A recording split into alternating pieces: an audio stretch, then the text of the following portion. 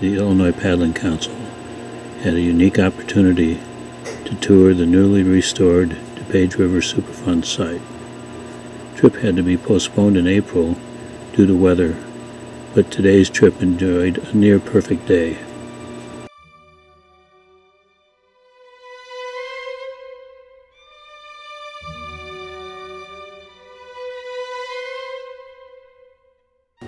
We met and signed in at the takeout at Blackwell's Mack Road.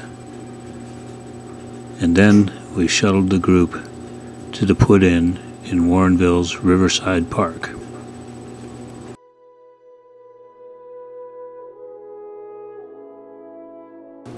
We had a total of 19 boats and 26 people, including several representatives from the Forest Preserve District, two district commissioners, and two representatives from the contractor and consultants.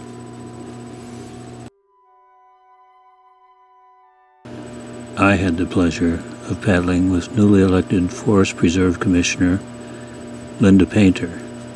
This was her first time ever in a canoe, and she did amazingly well. And then uh, from this facility itself, We stopped periodically along the river so that John Oldenburg and John Mills could explain the work that has been done. And uh, so the, the challenge is to not only do that and still maintain at least a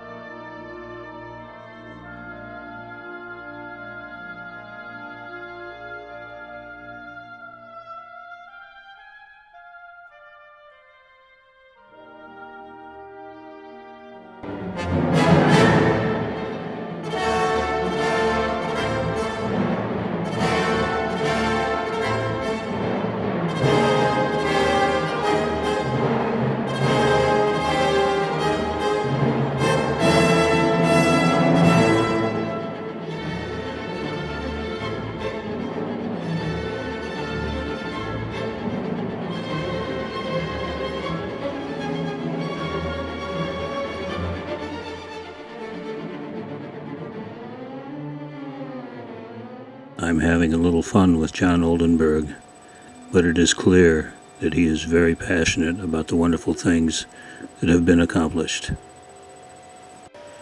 We all found it hard to believe that as little as two years ago, this pastoral scene was dominated by huge earth moving vehicles and trucks going up and down the river, and that a small mountain of material had been removed from this beautiful lake.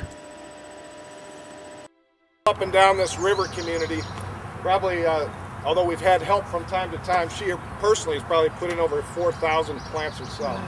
But uh, this place is really starting to shape up. Uh, we're starting to get some excellent habitat, and we're very uh, hopeful that the reintroduction of species of fish, uh, not just because they're endangered and threatened, but because they have a place in the biological food web that hasn't been present in here.